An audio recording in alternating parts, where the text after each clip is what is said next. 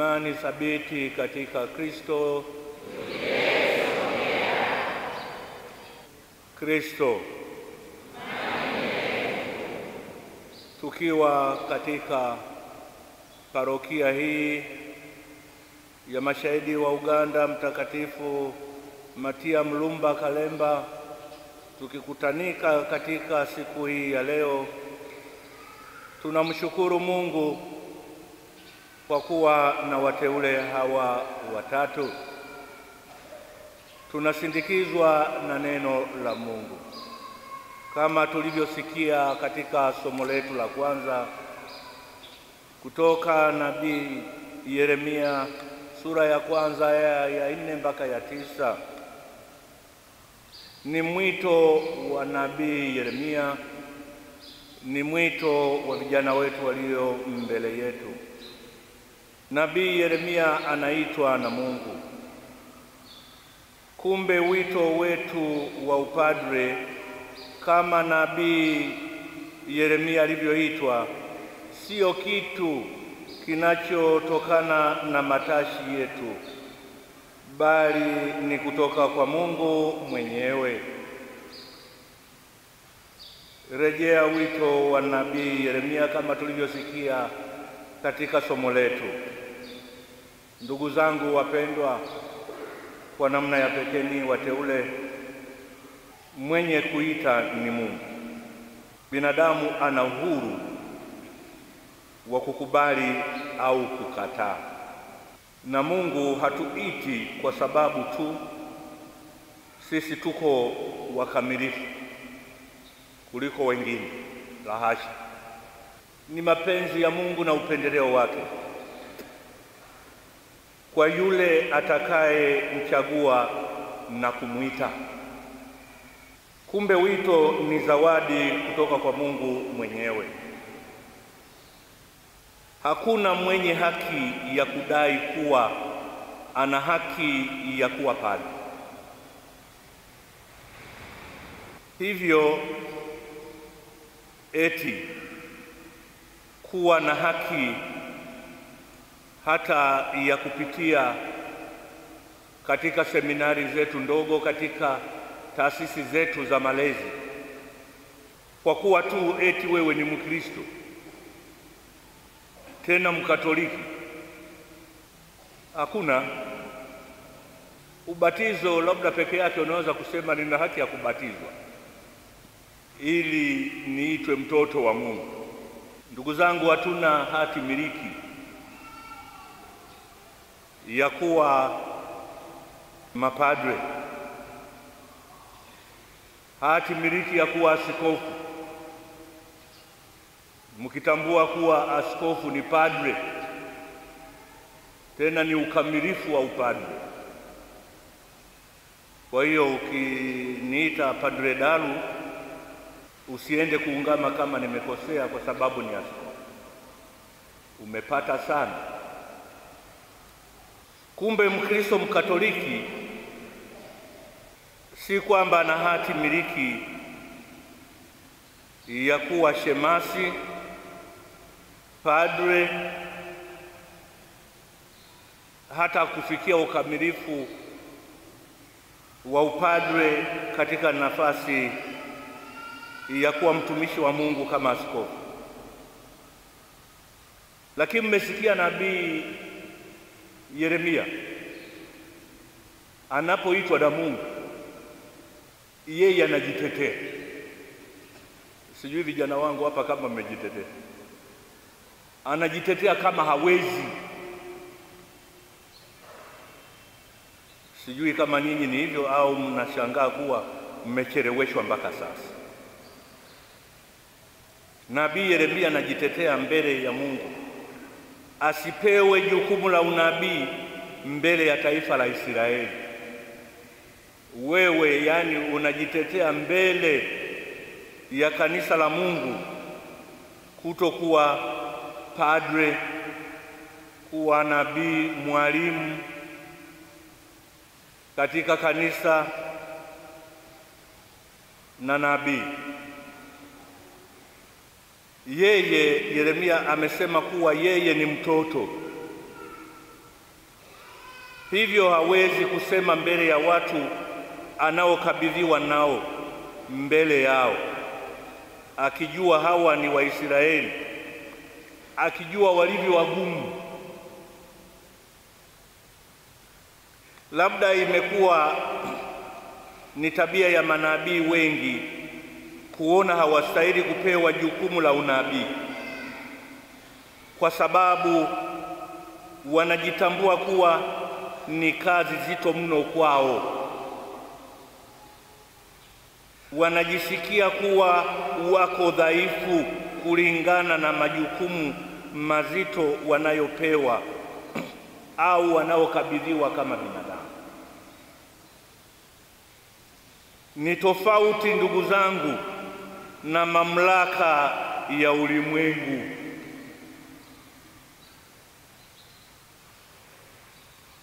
Unapoteuliwa kwa nafasi yoyote katika nafasi ya ulimwengu, ni tofauti na unavyoteuliwa mbele ya Mungu uwe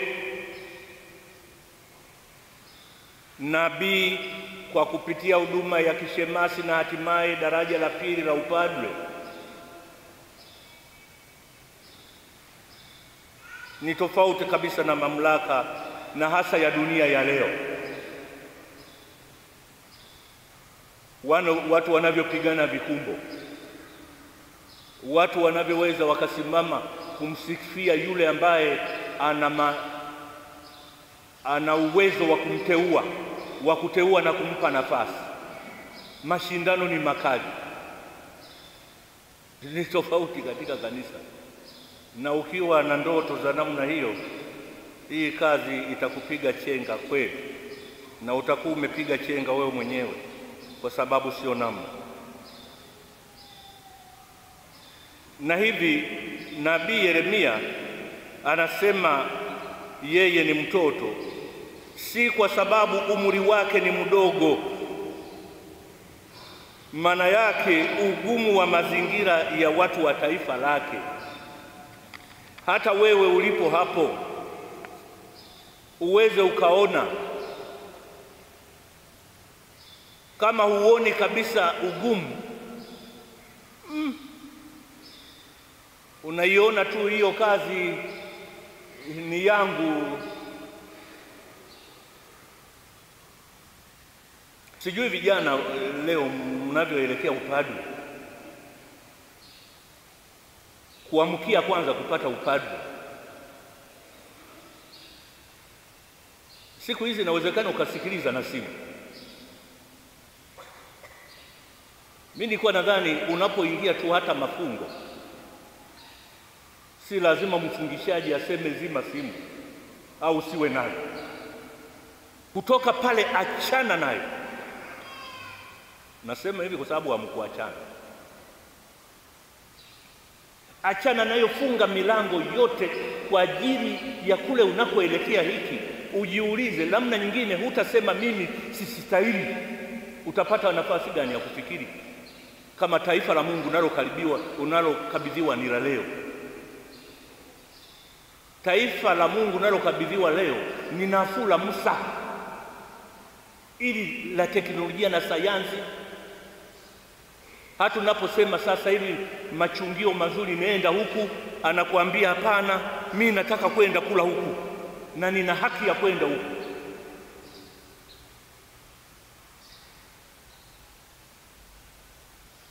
Utakapoanza sasa kupewa jukumu, na sasa hivi jukumu la kufungisha ndoa au kubariki ndoa, na sasa hivi ni kuzibariki sehemu nyingi hawafungi tena, wasaba wameshafunga bila utaratibu. Wanaweza kukuita, kujiita ni wachumba kwa kuharibu tu hali ya hewa.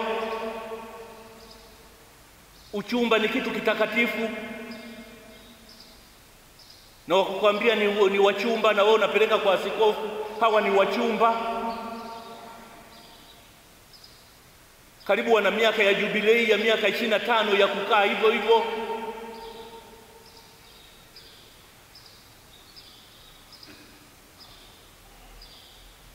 Na baadaye watakuja wengine jinsia moja, wanasema ubariki ndoa zao, usipobariki wao na wewe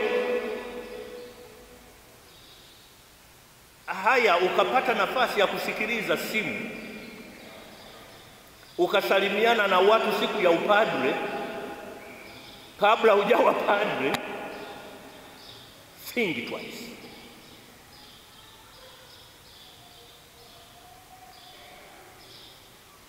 ili utoe jibu la Yeremia, mimi ni mtoto. Halafu yeye mwenyewe atasema nitakuwezesha, nitaweka maneno yangu ndani ya mdomo wako ili uweze ukahubiri, ukafundisha. Si utoto wa umri, ni utoto wa changamoto zinazokukabili na matatizo yaliyo mbele ya, yako. Ndugu zangu, sio kitu cha kawaida kimajukumu na masharti yake. Rejea masharti mlioyapokea jana katika kuwateua.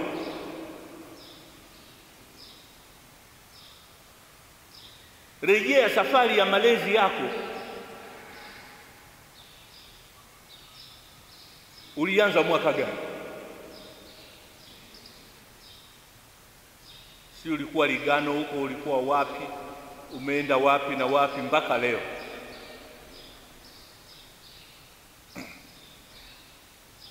Ndugu zangu, mwaka elfu mbili na kumi na saba tulienda pale Dodoma kuadhimisha upadre wa wanajimbo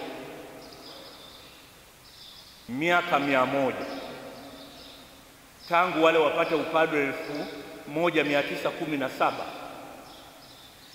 mwezi wa nane Agosti tarehe kumi na tano siku ya kupalizwa mama yetu Bikira Maria mbinguni. elfu mbili na kumi na saba tulikuwa na miaka mia moja tulikutana Dodoma mahali palipo katikati kidogo, ili tuadhimisha kuanza kuandaa. Ilikuwa elfu mbili na kumi na sita tulienda kuhiji Nyakijoga kule Bukoba. Nyakijoga, Nyakijoga, wahaya watatuambia taratibu. Tulienda kule elfu mbili na kumi na sita tukafungua jubilei ya miaka mia moja kule Dodoma ya upadwe wa jimbo, na miaka mia moja hamsini tutaelekea Bagamoyo elfu mbili na kumi na nane miaka mia moja hamsini ya uinjilishaji wa mlango wa imani Bagamoyo.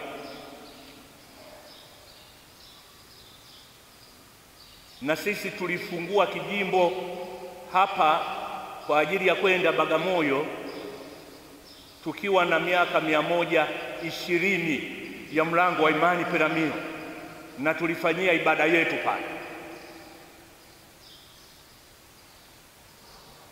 Mwezi wa nane tarehe kumi na sita mpaka kumi na saba tulikuwa pale, ili kusudi tusali tupate kuweka jibu halisi tuweze tukasema sisi ni watoto, tunahitaji huruma ya Mungu, tunahitaji tuwezeshe. Jana mlikuwa mlipata masharti na kuweka viapo vyenu. Kwanza mlisali kanuni ya imani hapa. Kanuni ya imani si mnasali kila siku, lakini jana mulisali mbele ya askofu ni sehemu kabisa tunayokupatia hapa, ni suala la kuhubiri katika kanisa Katoliki, ni imani na maadili.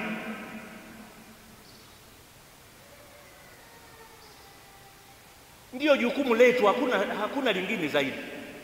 Imani ile aliyekiri Mtakatifu Petro mtume ndiyo tutakayoihubiri na lazima tusali hilo, na maadili huwezi ukatenganisha. Ulimwengu wa leo unataka kutatua hayo. Mojawapo jana mliweka tena,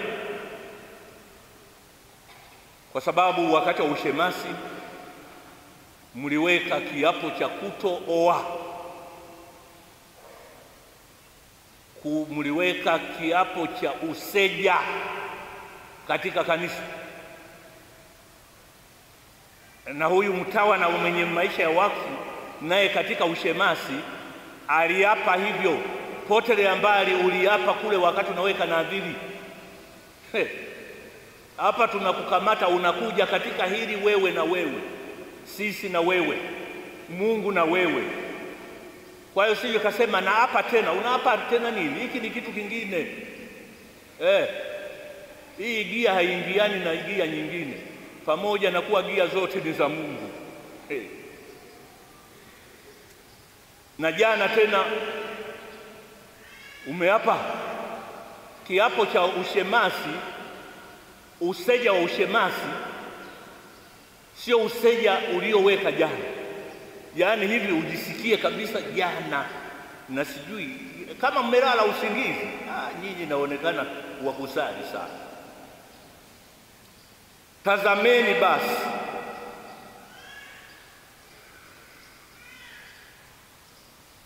miaka ya leo, hawa jamaa waliapa hapa, na nasema hivi ili msikie nyinyi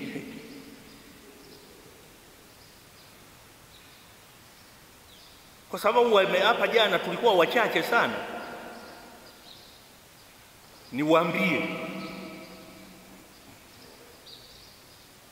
muache mchezo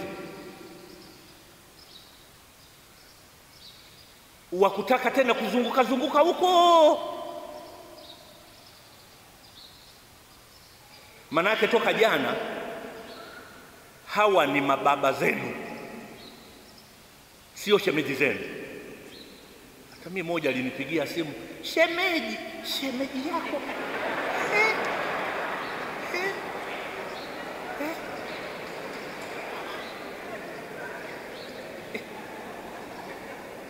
Sio ameolewa na kaka yangu, ameolewa na mdogo wangu. Potelea mbali, kafie kule, ukae na mwenzako.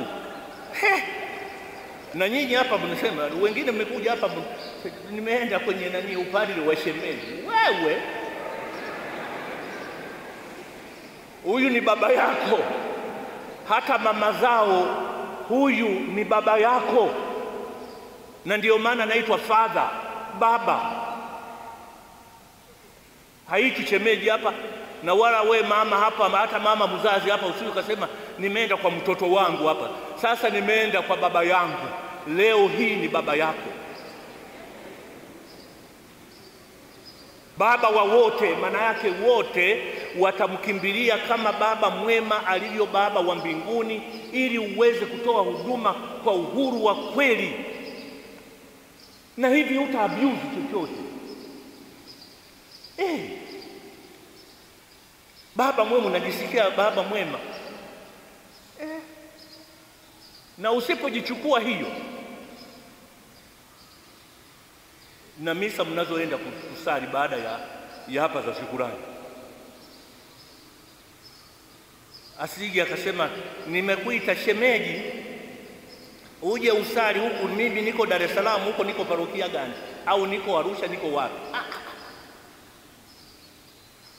Tena we ongea na padre pale na, na padre atakuwa, atakutambulisha kwa askofu wa mahalia. Huwezi kuenda tu. Ndugu zangu wapendwa, ni jambo muhimu kwa wito wa aina yoyote katika kanisa kuwa na hofu ya kimungu juu ya jambo jipya linalokukabili na hivi ninadhani hata nyinyi maisha ya ndoa, hiyo hofu isipokuwepo,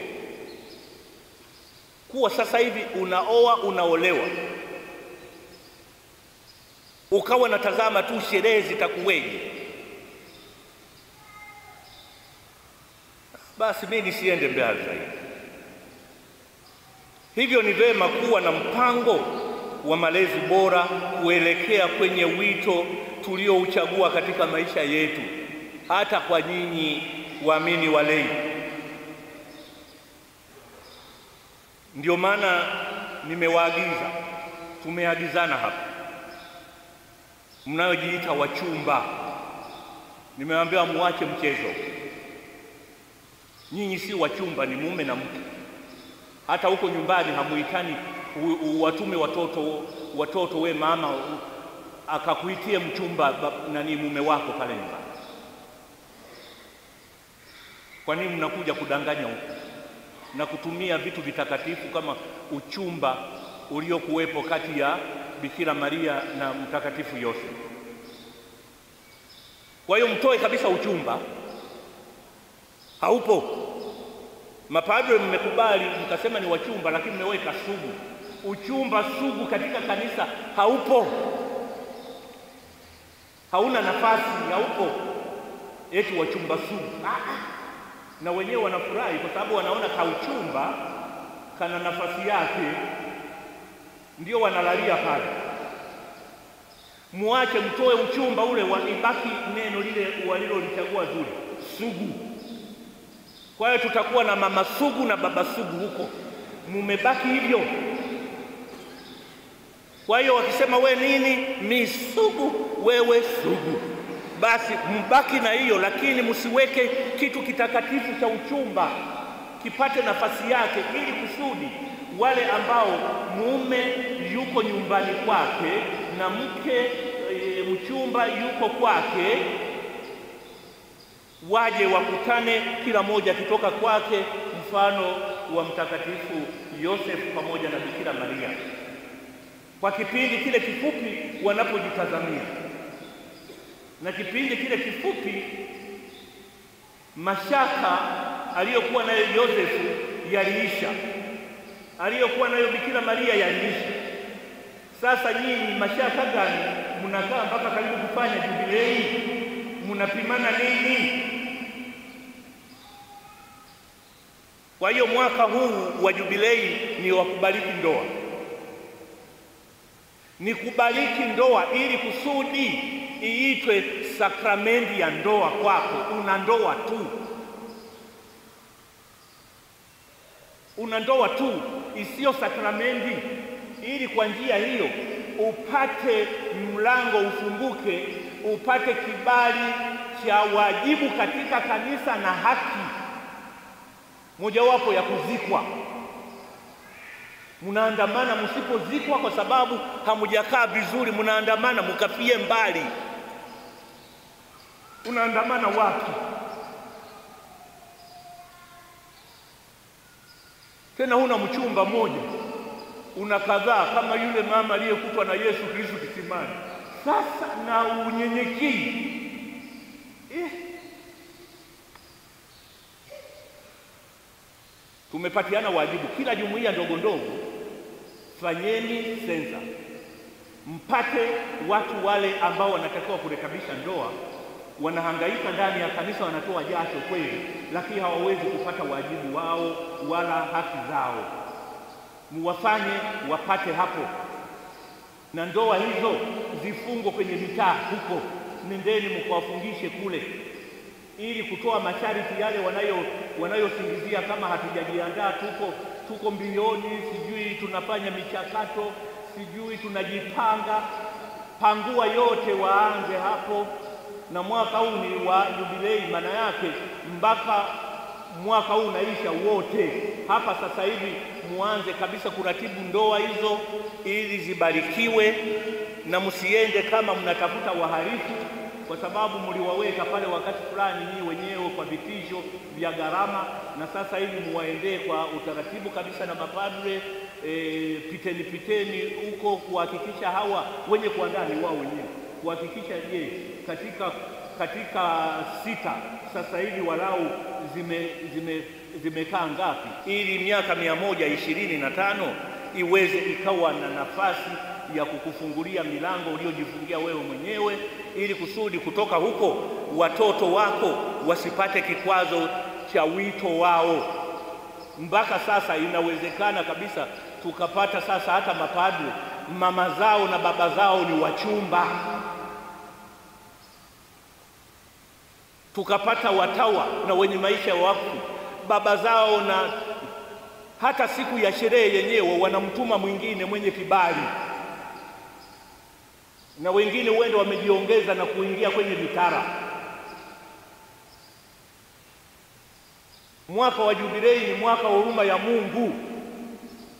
Milango imefunguliwa, twende sasa tukatubu, kwa sababu hatuna kibali cha kutubu. Si tumeshajifungia hapo, hatuwezi kupokea sakramenti ya kitubio. Sisemi ya Ekaristi Takatifu, hiyo sasa hivi mnawinda, mna abuse kabisa, yaani mnakufuru kabisa Ekaristi na ndio maana mnataka mnataka kupokea Ekaristi Takatifu siku ya Krismasi na, na Pasaka. Yeah. Ni chakula maalum. Ndugu zangu, hawa wanatoka kwenu, hawa wanatoka katika kanisa dogo la Mungu la familia katika Afrika Mashariki. Ka, ka, e, dini yetu ya Kikatoliki iko hivyo. Familia ni kanisa dogo la Mungu. Tufungue milango, ndugu zangu wapendwa, ninyi kwa namna ya pekee maisha yenu ni ya, kuwa, ni ya huduma, na mnajua kazi ya shemasi ni mhudumu, ni mhudumu katika kanisa. Na wengine sasa hivi sijui hata Wakatoliki, yaani kama hawajui shemasi bila Nilifika mahala fulani, tulikuwa tunapita tunaenda kwenye sherehe ya upadre, tukafika masichana wenye magari pale. Siku ile kulikuwa na soko kweli, basi wanatangaza pale, jamani, jamani, kuna mapadre wanaopata ushemasi leo, twende huko. Yaani mapadre wanapata ushemasi. Sasa Eh. Basi baadaye unaweza ukakuta sasa wanasema kuna shemasi anayepinga maaskofu. Maanake shemasi ni mkubwa kuliko maaskofu bila shaka. Ndio maana wanasemelea au wanasema, ndugu zangu wapendwa, wahudumu au watumishi wa kweli wa Mungu hawaachi wajibu wao wala hawatumii maarifa kwa hila. Mapadre, mna, mna karama mbalimbali, usitumie kwa hila kamwe.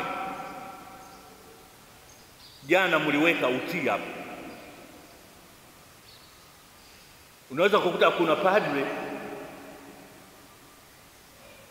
padre, ukikosa utii basi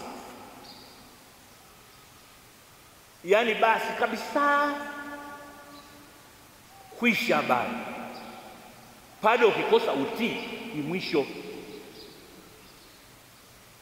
Si utii kwa askofu, utii kwa kanisa. Hutawatii hata waamini wako, utaona ni vinyago tu, utawadharau. Watawa na wenye maisha ya wakfu, utajiona wewe sijui ni nani na hawatakuwa hata na hamu ya kufungua huruma ya Yesu Kristo hata kwa sakramenti ya kitubio, na wewe mwenyewe hutakuwa na hamu ya sakramenti ya kitubio, kwa sababu mganga hajigani. Utii, na baadaye tutarudia wakati wa nani, utii.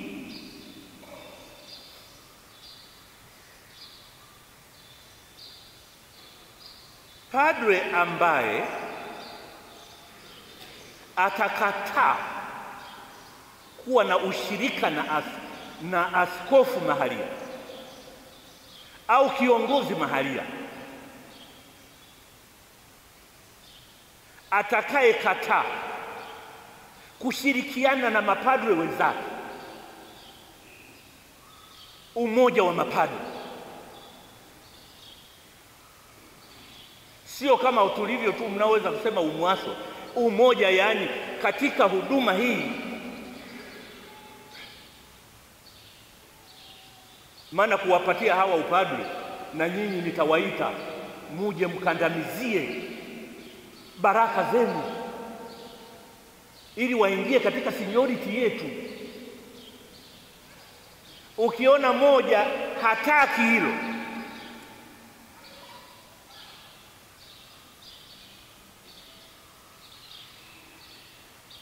chochote hamna kabisa, asifike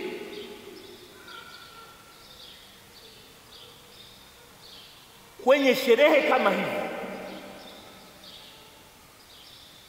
kuwe kuna upadre hakuna, kuna msiba wa padre hakuna,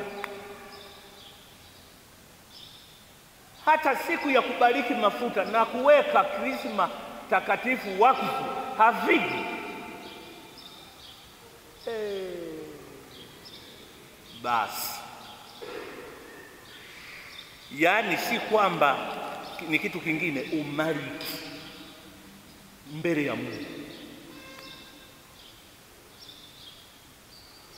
Finish, kwisha.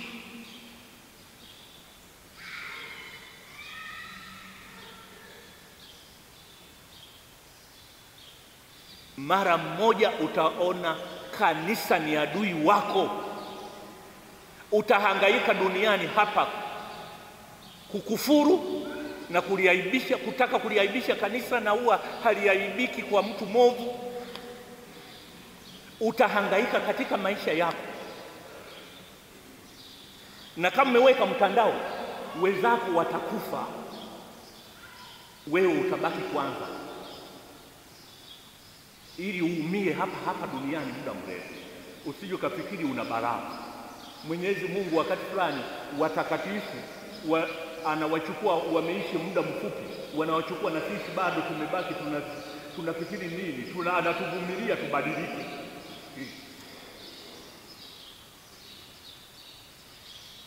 Mwaka mmoja upadre tayari amekwenda. Ah, huyu jamaa laana gani? Hapana, unaangalia pale, amefanya kazi vizuri sana kwa muda mfupi, huyu hana maswali mengi ya kujibu. Ndugu zangu wapendwa,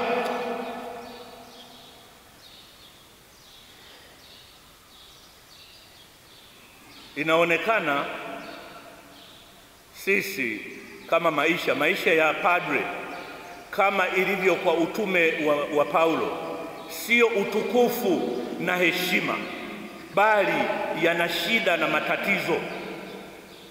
Hata hivyo, imani ya padre isitikisike, imani yenu isitikisike. Wengi sana vijana sasa hivi mapadre, tunafika mahala fulani tunakata tamaa kabisa.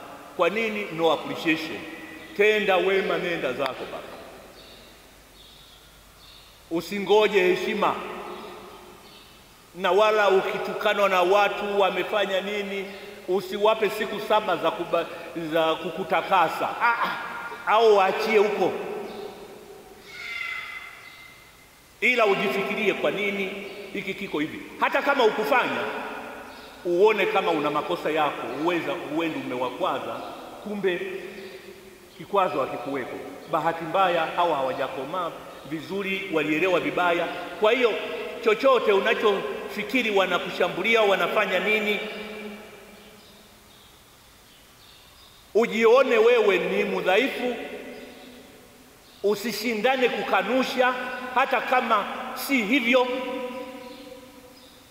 ni Mungu tu atajua kama si hivi, ila ujiangalie, usije ukaingia huko tena na ikaonekana kweli kile kilikuwa kinathibitishwa.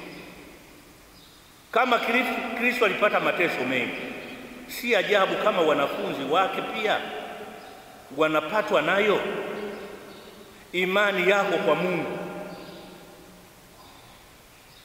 ndiyo itakayokuletea matumaini katika changamoto za utume wako.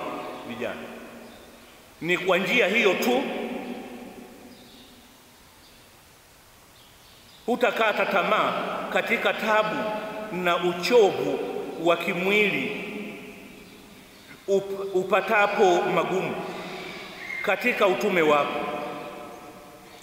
Ndugu zangu vijana, daima omba Mungu akuzidishie imani katika utume wako kama tunavyofanya katika kipindi hiki cha mwaka wa jubilei ya miaka 125. Ndio maana tunasema imani thabiti katika Kristo ndiyo jubilei yako, ndiyo maisha yako, dira yetu. Daima omba Mungu akurudishie imani katika utume wako inayopotea kadiri ya changamoto ya maisha yako. Ndugu zangu, tumesikia katika Injili mtu wa kwanza aliambiwa afikiri kwanza vizuri juu ya yale aliyoyataka kufanya, kwa sababu kumfuata Kristo kunamletea shida na dhiki za kimwili. Yeye alifikiri kiu kumfuata Kristo labda ataongezewa na fedha na mtaji mkubwa, nasikia huyu ni mkubwa, atapata cheo. Baada ya kumwambia Yesu kuwa atamfuata kokote atakako atakakoenda, jibu la Yesu ni mbweha wana pango na ndege wa angani wana vioto, lakini mwana wa Adamu hana pa kujilaza kichwa chake. Hana mahala pa kujilaza kichwa chake. Huyu ndugu zangu, kama mlivyosikia, alijileta mwenyewe kwa Yesu, alimfuata kabisa yeye mwenyewe. Wa pili alionywa kwamba wajibu kwa ajili ya Yesu ulistahili kupata kipaumbele kuliko wa kawaida wa kidunia. Unaona pale anasema watu walio wafu kiroho wanavutwa na mambo ya maisha ya kidunia. Hata yule kutaka kuepa akasema, ah, aisi kwa sasa hivi sikufuati, ala nyumbani kuna msiba. Na mwingine asema ngoja nikawage ndugu zangu kwanza. Yesu akasema ishia huko huko, na kwa kweli hawajarudi. Kwa sababu gani? Tunavutwa na maisha ya, ya kidunia, wakiangalia yale ya maisha ya kila siku tu, lakini wanafunzi wa Yesu hawana budi kuangalia shughuli na thamani zaidi ya ufalme wa Mungu. Ndugu zangu, inawezekana nyinyi hapa mlipo huko, hawa jamaa watatu hapa mnasema leo wameuchinja, leo wameuchinja si baadaye tutakuwa hata na zawadi, tunatafuta namna ya kuwapatia zawadi zawadi. Wameukata na hivi, hawa jamaa huko wangependa kweli wachukue nafasi zenu. Sasa hatujui tulio huku, huenda na sisi huku tunatamani kuja kwenye nafasi zenu huko, kwa sababu huko kuna moto. Baada ya kuanza kazi huenda na huku tena anasema, yaani isingekuwa tu hili, naomba Mungu majukumu ya familia kule ni nafuu kuliko haya yaliyoko katika upadre ambayo wewe hujajui, Na hivi huyu anaona eh, alo wale, wezangu wenzangu wana nafuu kweli, wako huku, tuko Makerere huku. Hata mimi mwenyewe nikichukulia mzigo ninaoupata huu, wewe huko una nafuu na kuona una nafuu lakini siwezi kuja kwako niache huku. Sasa hivi, lazima ni, ni, ni angikwa mule, lazima nimepigiliwa misumari, lazima kikaonekana kika huko huko, na mapadwe ni hivyo hivyo. Sasa hii ni namna ya, ya maisha yetu tunavyohangaishana na changamoto hizo. Hivi kuna waamini nyinyi walei huko mnasema mapadre maaskofu wana raha kweli na ndio maana mnakuja na neno jamani, yaani nyinyi mna nafuu, sisi tulio duniani sijui sisi tuko mbinguni. Wenzenu tulio duniani. Eh? Manake watawa wako mbinguni na mapadre na maaskofu. Wanatuona, yani tuna raha hawa jamaa na wanapenda kuja, kumbe sisi huku hakuna changamoto, ni changafaya. Na kwetu na hizi kila moja azichukue azichukue ni zake, yaani zinakutosha kabisa za kukupeleka mbinguni. Wewe ni hizo hizo kwako, na sisi huku ni hizi hizi na ni zito zaidi. Lazima tupigane zaidi ili kusudi tukakamilishe utume wetu, na watawa hivyo hivyo. Maana wakati fulani tena hata sisi wa majimbo tunaweza akasema ah, na mtawa anajisikia bwana, mimi na mzigo bwana kuliko haya majamaa. Na ndio maana zamani walisema secular police, yaani sisi ni mapadre e, wa dunia, kwani sijui wenyewe walikuwa wa mbingu. Lakini siku hizi mambo haya tumetoa sasa, tuna, tunaenda kwa pamoja no one is secular and secularized we are all to consecrate the world. E, lazima tutakatifuze ulimwengu eh?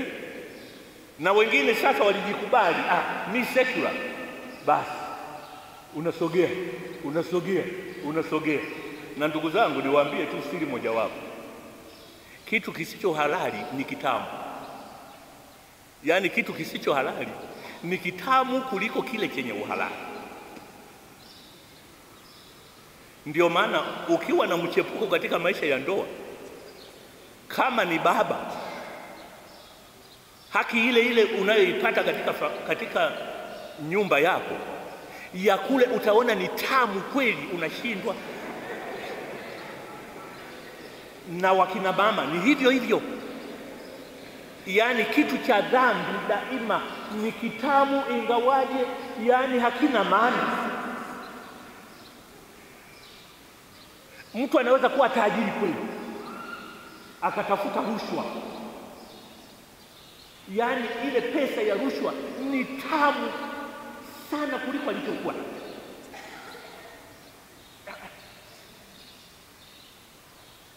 Mwanafunzi yaani, mnaweza mkawa kabisa. Mimi nilikuwa naangalia sana maisha yetu, hata seminari, seminari ndogo mpaka kubwa,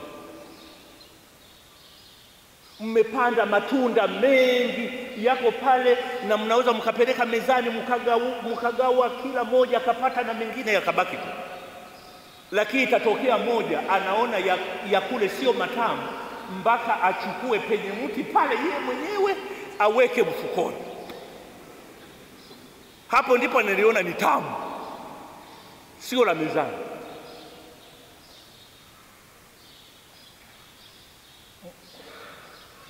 Unaweza ukawa unatumia kinywaji ukaenda hata kwenye baa. Kwenye basi kuna viti vyake vya kukaa, viko unakaa kule, mnakunywa. Na sio dhambi, lakini taratibu unaweza ukakuta umekaa kwenye, kwenye kaunta anapouza utakavyotamba utakavyosogea kule sasa, kule unaona si tabu mpaka ukawe pale pa muuzaji mwenyewe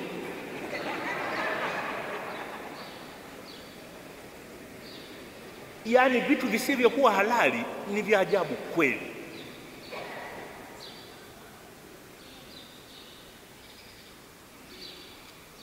Tusali wote. Hii ni changamoto ya wote, kadiri ya wito wetu. Ujifikirie, usali, umwombe Mwenyezi Mungu.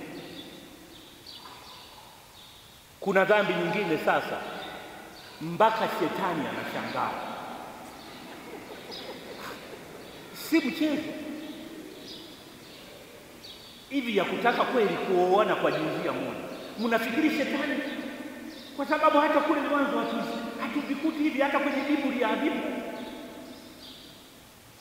Inaweza ikaonekana dhambi, lakini siyo kuhalalisha. Ndugu zangu, dhambi za leo na vijana leo, tenda dhambi ndiyo ionekane. Ogopa dhambi ya kuhalalisha dhambi. Na waombeni wote, mlei, ogopa dhambi ya kuhalalisha dhambi, na hivi hata uchumba unaoita sugu haunge kuwepo, kwa sababu unataka kuhalalisha hali hiyo. Mimi nimeenda huko sasa hivi natembelea parukia, wameniomba kabisa, tuna jubilei ya miaka mia moja ishirini na tano. Tunaomba sasa wabati, wabatizo watoto wetu hawa, yaani hawa ambao wanasema wana uchumba, hawa ambao nimewakatalia hakuna uchumba, ni watu wa ndoa, hawataki kubariki ndoa, wanataka tubatize watoto na wenyewe waendelee na, na hali ya dhambi hizo. Sasa hata kule nyuma, jamani, ilikuwa kwa ajili ya wale labda mabingi wamezaa nje ya ndoa, wako nyumbani, ndio ilikuwa kwa ajili ya watoto wao hao, na wao wenyewe kabisa warudie Mwenyezi Mungu. Sasa we uko katika ndoa, una unakataa kweli kubariki ndoa, unahalalisha kweli hilo? Ndilo leo niko hapa ili kila mmoja kadiri ya wito wako. Ogopa dhambi ya kuhalalisha dhambi. Padre, ogopa dhambi ya kuhalalisha dhambi katika wito wako. Watawa, ogopa dhambi ya kuhalalisha dhambi katika wito wako.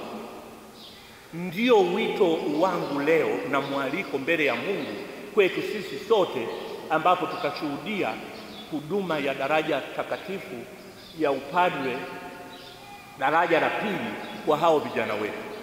Hivi kila mmoja asali ili kusudi aangalie ulimwengu wa leo ambao kila kunapokucha unataka kuhalalisha dhambi kuwa ndio mfumo halisi na kitu cha lazima kiende hivyo.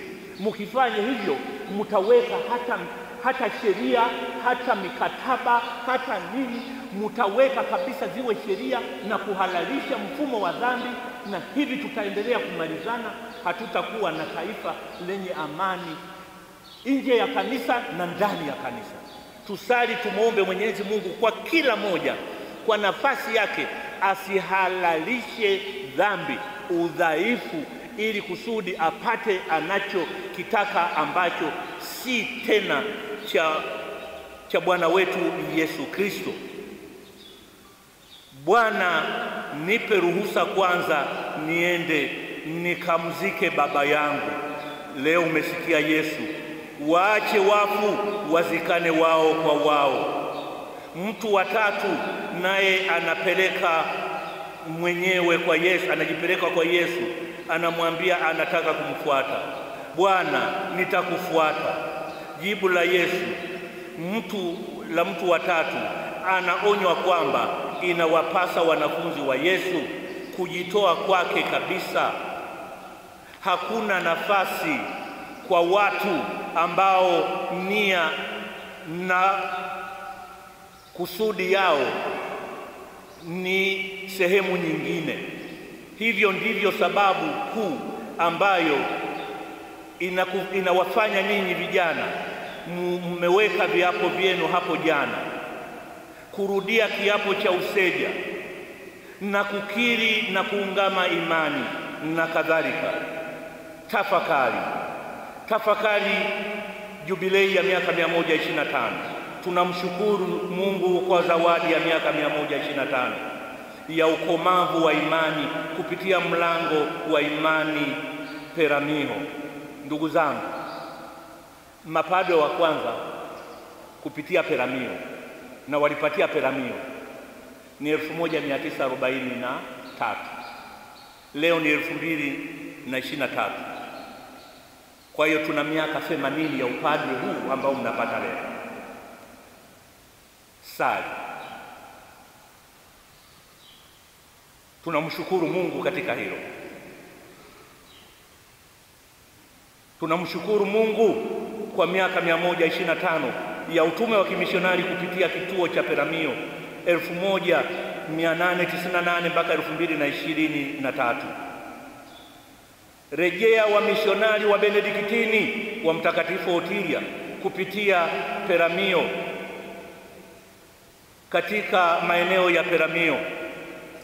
Hivyo basi tukumbuke kwamba miaka 125 ya mlango wa imani Peramio, tunaadhimisha pia miaka themanini ya upadre wa wananchi katika jimbo letu na hasa katika kanda yetu.